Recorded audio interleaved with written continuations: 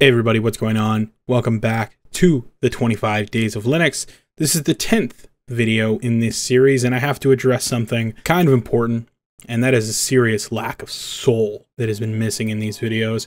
I've been making them, editing them for a little while now, like I said, I'm 10 videos deep here, and I noticed there's just something missing. Ardbeg.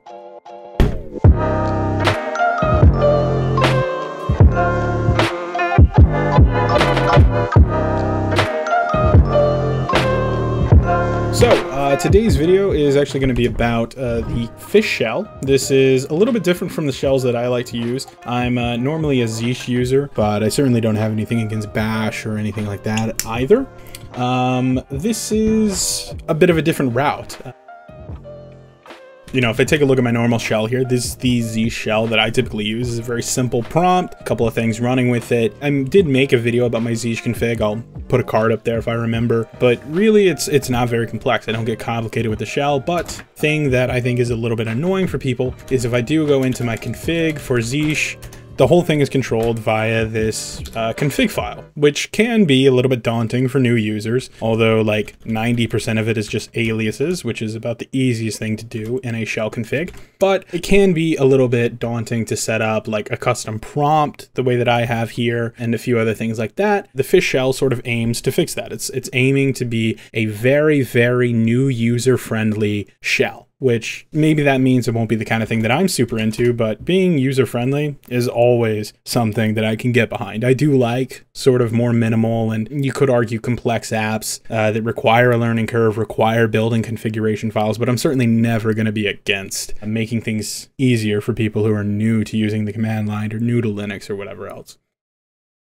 So uh, let's go ahead and install this thing. Assuming you're on Arch, it should be as easy as sudo pacman-s fish pops up right there. Uh, if you are on Ubuntu, it should be sudo apt install fish, and uh, I think it's sudo yum install on CentOS and stuff like that. Fedora sudo pacman dash s and install fish.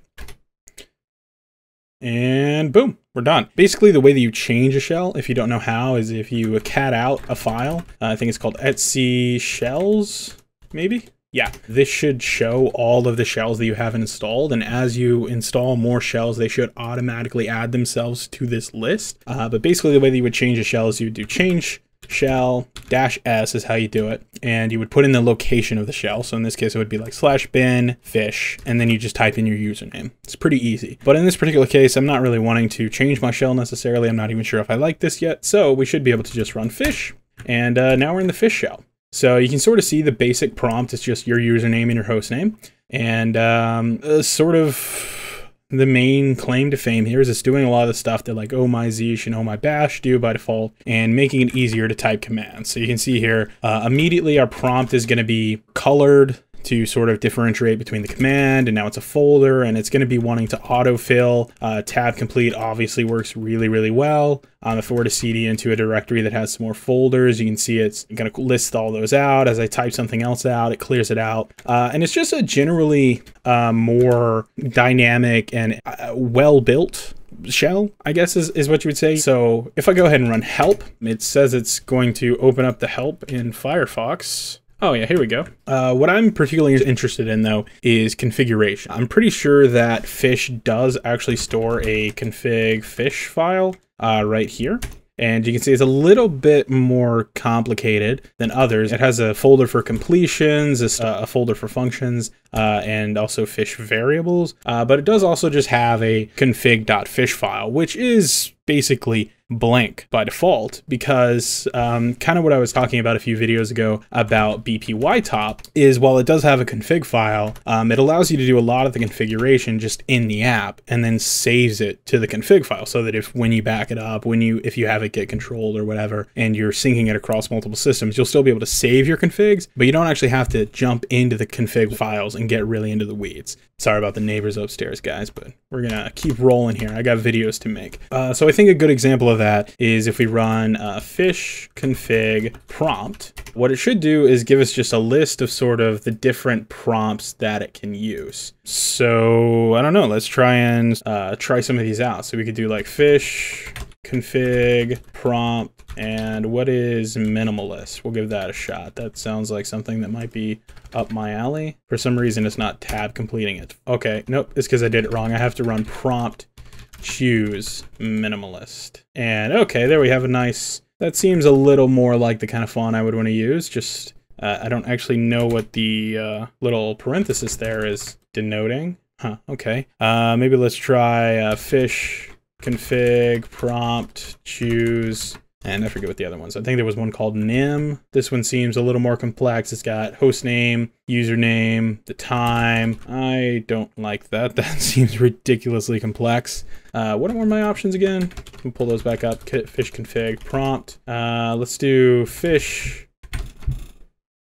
God damn. Uh, config prompt choose disco. Huh? Why not? Oh, that was actually kind of nice. Now, what this actually does is it actually just saves this prompt to our current session. So if I were to run fish again, you can see it actually it didn't save that prompt. Uh, so what we would then have to do is run, if I'm reading this right, fish config prompt save disco. And I overwrite the prompt. And then if I run fish again, Okay, it gave me an error, but when I run fish again, it did change the prompt. So I don't know what that error is about. So that's pretty cool. Um, that's sort of how you're meant to customize the fish prompt. And if we go ahead and we come in here and we do uh, fish config, uh, you can see it also pulls up the history here, which I can imagine being kind of handy if you run a lot of the same sort of commands over and over again. But what I want to do now is I want to run fish config browse and uh, oh, this opens up another browser window for me. It's, oh, well, hey, look at this. It actually has uh, color schemes that it works with. I didn't actually even notice. This actually is not using my color schemes. Uh, I didn't notice it until it pointed out, but no, this isn't using my default uh, terminal color scheme, which is Gruvbox. Um, and it looks like here they don't actually have the Gruvbox theme, but they do have base 16, which is fairly similar. Oh, and you could even set a custom theme here, it looks like maybe. And what I'm going to do is I'm going to click on the base 16 theme and I'm going to click set theme. Theme set. I come back over here and it should have set the theme. Now you can see it's using the color scheme I just set. So actually, this is kind of wicked cool all of a sudden. All right, so I'm to do fish config browse. And I come back over here and let's say, all right, all right, all right, all right. Here's what we're going to do. I'm to pick this lava color scheme. I'm to hit set theme set. I'm going to come back over to the prompt. It's giving me examples of all the prompts here with images and everything. And what was I using before? I was using that disco theme. I still kind of like that one, but we'll change it just to test it. Let's do the scales one, right? So I click on the scales theme, I hit set prompt, done. So now if I come back over here and I reload fish, I've got the new prompt. I'm using the new color scheme and I didn't touch the freaking config at all. One thing I need to figure out is how to set up aliases because I know, oh, it's cool. It can sort of tab complete and it shows you everything and it's much more verbose that way. But aliases are so freaking fast. If I can't hit V and launch Vim, there's no way in hell I'm going to use this shell. But it looks like to create an alias, you just have to, you know, do an alias how you would normally on the command line. And let's alias uh, V to open up NVim, right? So now if I hit V, I'm opening up NVim. But the problem is when I reopen Fish and I try to run V, it's not going to work so what I have to do is func save uh, v, and then reopen fish. I hit V, Vim is opened. It saved the function. So I think that's an example of them making it a little more complicated than it needed to be. Uh, I, I almost would have preferred to be able to just like go into this fish config file and, and, make a little alias section, you know, like I do in any other shell and say alias. And who knows, maybe you can. Let's try it out. So let's say uh, aliases and let's alias uh, f equals ranger.